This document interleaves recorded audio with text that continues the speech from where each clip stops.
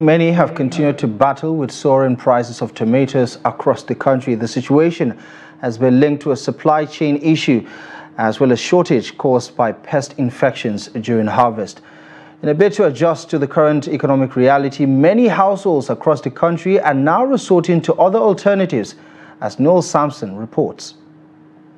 According to some FCT residents, their first choice for some meals and stews is tomato.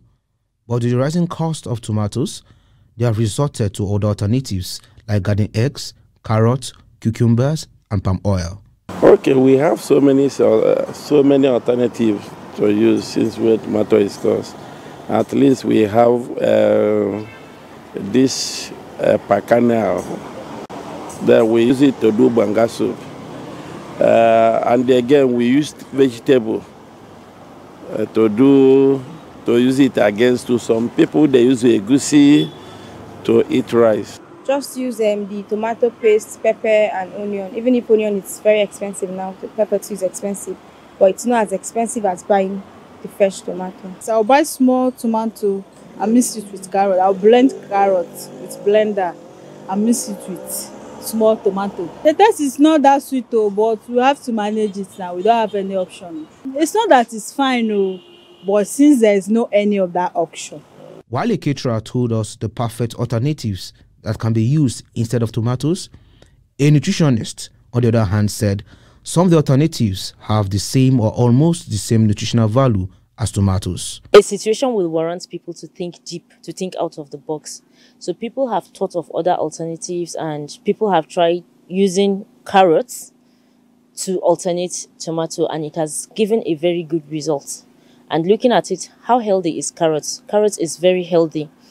Okay, of late, a lot of people are thinking of how to go natural in everything we're eating. So carrot is another natural uh, product as good as tomato. So carrot is a very good alternative. And people have gone to another level to use cucumber to make their stew and it came out perfectly well. So of course, there's watermelon stew now, and then everybody is talking of how delicious it has become. So there are a lot of things, and people have even res resorted to using little pepper and adding your vegetable, your ugu, your spinach, and everything, and you create wonderful stew that is very healthy for your family apart from the redness of the tomato, which attracts children and even adults. And alternatives include uh, already we have what we call ofe akwu. Many people eat it. This ofaku is made from palm nut, palm, palm fruit. Mm. It doesn't need tomatoes. And they, also, they are also nutritive like tomatoes. Right. For example, garden egg is rich in dietary fiber is also it has iron, it has potassium, it has vitamin C, and uh, some B vitamin, just like uh, tomatoes has some of them. So they are not, uh, they can replace and they are not uh, nutrition wise lower in quality. Tomato offers several research-backed benefits, including protection for brain, heart, and gut health. The fruit, which some consider a vegetable, is also a source of nutrients like vitamin C and potassium. With the rainy season here, Nigerians are hopeful that the price will drop in the weeks ahead.